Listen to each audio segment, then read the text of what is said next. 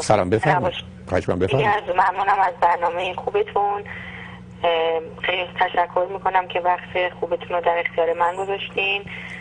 من یه سوالی داشتم آقای دکتر هولاکویی از حضورتون. با برنامهتون من آشنایی دارم راجع به نورو فیدبک من پسرم رو بردم یعنی در نیویورک هستم. پیدا کردم یه آقای دکتری که برای بچم نورو فیدبک انجام بده.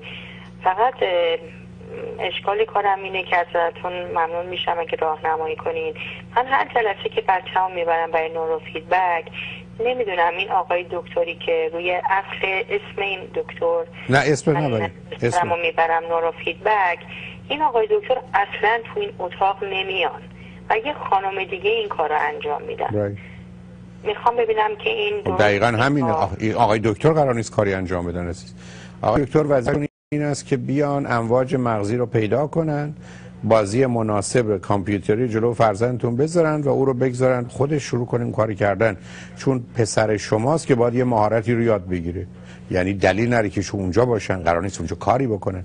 به همین است که کار نورو فیدبک یعنی کار تشخیص مثلا توجه کمبود توجه و تمرکز یا با یا بدون بیش فعالیتی ADD یا ADHD بعد از اینکه انجام گرفت بعد از اینکه تکلیف روشن شد که می‌خوان این دستگاه رو چه کنن باید بذارن و برن. درست مثل این است که کسی هم که بخواد از من شما ام بگیره ما میریم زیر دستگاه دستگاه رو میزون می‌کنن کاری به کار ما ندارن.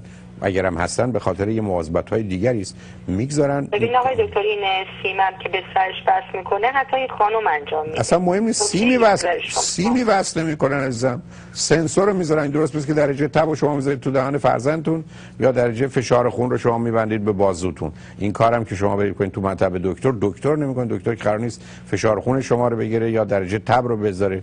خیلی راحت می‌تونه به همکارش بگه این کارو بکنن. در تز سیستم تقسیم به کار درستش هم همین است.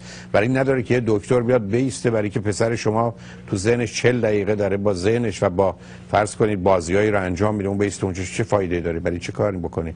اون بله. آدم میاد اینو وصل می‌کنه و دنبال کارش مهمش تشخیص اولی است و انجام کار. درست مثل من شما میریم دکتر به ما یه دوا میدن میگن تا 5 سال دیگه بخورید دکتر نیست من شما راه بیفته. یا وقتی ما می‌خوام قرص بخوریم کنار من شما باشه. نه هیچ ارتباطی به هم نداره موضوع. به همین جهت است که اگر از طریق نورو فیدبک ما بخوایم مشکل ADD یا ADHD رو حل کنیم مادام که بله. تست لازم انجام بشه مثل تست تووا و بعد از که این کار انجام شد در حقیقت تکلیف کار از نظر تنظیم این دستگاه به وسیله فرد متخصص یا حتی احتیاج نداره دکتر باشه.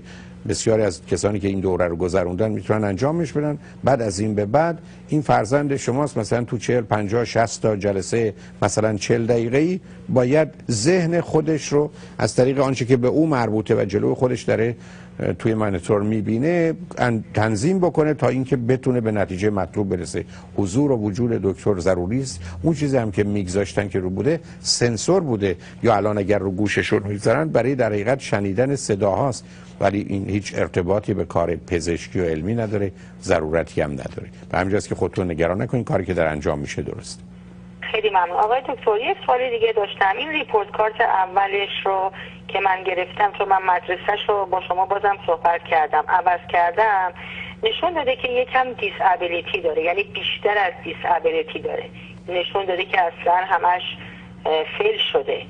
من یه سوالی ازتون داشتم که به نظر شما با اینکه مدرسه رو عوض کردم که بهش بیشتر سرویس بدن به نظر شما من برای این مثلا یه جاهایی هست توی نیویورک مثل مثلا learning center بفرستم یا مثلا یک tutoring center شما چی فکر می‌کنید؟ نه نه ببینید عزیز اولا اگر فرزند شما یه ناتوانایی هایی داره اونا باید اندازه گرفته شه نوعش مشخص بشه معالجه بشه tutor داشتن و در حقیقت learning center ها. مثل اینه که من پام شکسته حالی که من بغل کنه این ور ور ببره.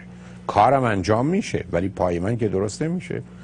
بنابراین موضوع اون سازمان ها نیست. مهم اینه که اگر فرزند شما خفیف یا متوسط یا هر چیزی لرنینگ دیسابیلیتی داره باید اون معالجه بشه. ضمنا اون خودش می‌تونه یا عاملی برای ماجرای کمبود توجه و تمرکز باشه یا حتی دارو یا فعالیت های دیگری مثل نورو فیدبک رو یه مقداری خونسا کنه موضوع رو به طور کلی جدی بگیرید که در حقیقت معالجه کامل همه جانبه و همه گیر صورت بگیره. بردنش به یه مرکزی معلم خصوصی گرفتن. که مسئله رو حل نمی‌کنه. عرض کردم نتیجه رو درست می‌کنه. امتحانش رو بهتر می‌کنه نمرش بده ولی اگر اون مشکل است سر جاش پای شکسته همچنان پای شکسته است. پای شکسته فرزندتون رو ببینید. اگر که معمولا هم میشه از نظر دنیای علم امروز میشه براش کاری کرد حالا که در نیویورک هستی تو این فرصت ها و امکانات هست اون انجام بدید. ولی به دلیل اینکه حالا من این ور ورش برم مرسشم کم و زیاد بکنم تفاوتی که می‌کنه بسیار ناچیزه و فقط کوتاه مدته و در مسیر معالجه و بهبودی نیست. همچنان با این مسئله و مشکل میمونه و برخی از اوقات هم می‌تونه بدتر بشه. من به هر حال به پیام رسیدم. خوشحال شدم باهاتون صحبت کردم. تمنا می‌کنم همین. من ضمن از این فرصت استفاده کنم عرض کنم که آقای دکتر محسن محمدی که در دفتر با هم همکاری داریم چهارشنبه نهم و چهارشنبه 16 از ساعت 3 تا 5 بعد از ظهر کنفرانسی به رایگان درباره نوروفیدبک و تست تووا و ایدیدی و ایدیشتی اینها دارن. ولی چون جا محدود هست باید لطف کنید مرد رو برای خود یعنی جای خودتون رزرو کنید. شما تلفن آقای دکتر محمدی 818 451 66 66 818 451 66 66 و البته شاید فرصتی باشه که تلفنی هم بتونید با ایشون درباره این موضوع بیشتر صحبت کنید. اجازه بدید که بعد از چند پیام با